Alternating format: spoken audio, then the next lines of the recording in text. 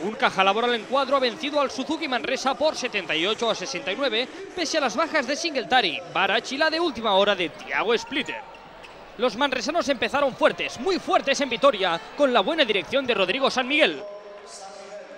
Además, la defensa de los de Ponsarnau les mantenía arriba en estos primeros instantes.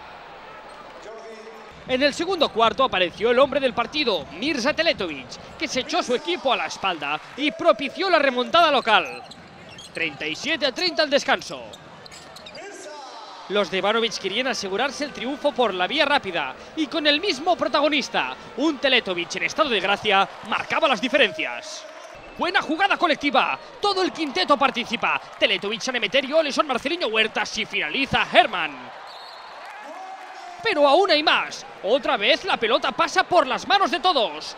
Marcelinho, Teletovic, Oleson, Herman y finaliza San Emeterio. Con tanto movimiento de balón, los de Ponsarnau necesitaban una biodramina.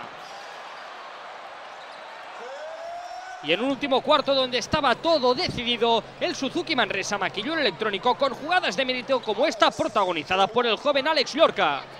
¿Y de quién hablamos ahora? De Mirza Teletovic, que culminaría su festival particular regalándonos este aliú. El bosnio acabaría con 31 puntos, el máximo anotador del partido.